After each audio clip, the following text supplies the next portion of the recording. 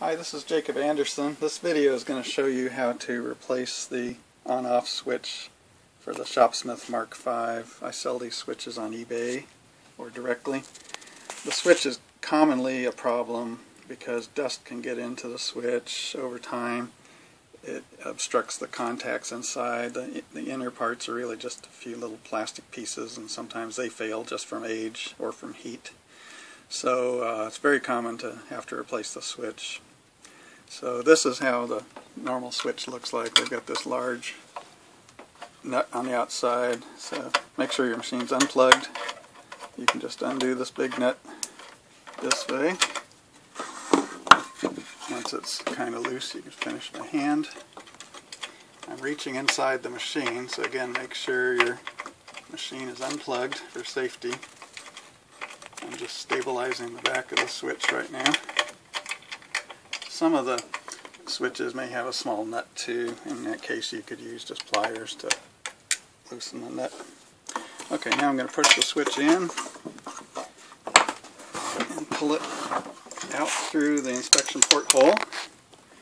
Keep the uh, serrated washer. See there's four contacts, two of them light colored, two of them dark colored. The colors change over time. These switches often get loose terminals where they swing and can short out against each other. Inspect your wires make sure you don't have little strays sticking out. But we'll disconnect all four of these leads and reconnect them the same way.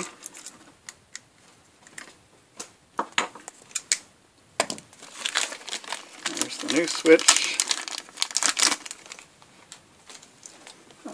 Remove this nut. This is going to be our new locking nut because the threads are different than that old style nut.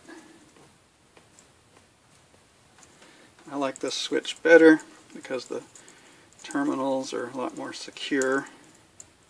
They don't swing. They're very secure. Uh, sometimes I've had to spread these upper ones out just a little bit, but usually not.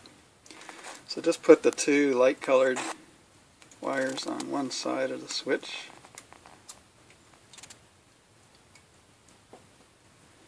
The two dark colored wires on the other side.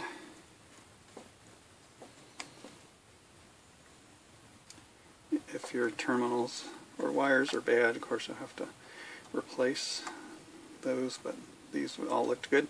Okay, now I'm just going to reach up and in use that serrated washer if you want on the inside. pushing it through. And I supply you with a large washer that goes around. And then we're going to use the new nut that came with it.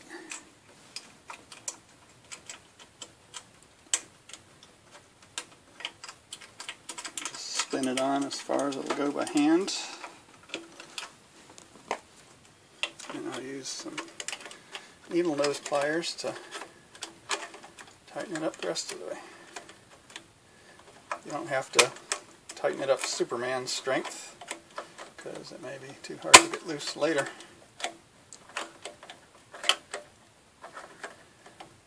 Alright, just make sure the alignment is straight up and down. And then you can check inside to make sure your wiring didn't uh, doesn't interfere with any of the inner parts. You want your wiring out of the way. Make sure then the terminals didn't come loose while you were doing that. And that's it. And if you need to get a hold of me, here's my email address and my phone number. I sell videos on how to repair shopsmiths. I sell tr troubleshooting guides. I sell some parts like this. You can find me on eBay.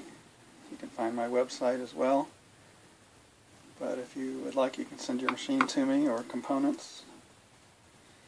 And we thank you.